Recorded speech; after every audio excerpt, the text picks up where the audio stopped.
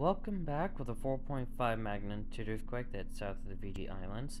Happened at 11:23, 11:24 p.m. Central Daylight Time, and a depth of 558.15 kilometers. So we do have Tonga to the east, and to the north we got Vanuatu, Suva, and Nadi with Fiji.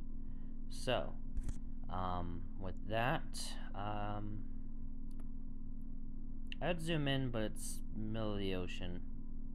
Um, I guess zoom out, see what else pops up. We got New, Ze New Zealand to the south, Wallis and Futuna, Tokelau, and American Samoa, along with Samoa to the north and northeast. So, yeah.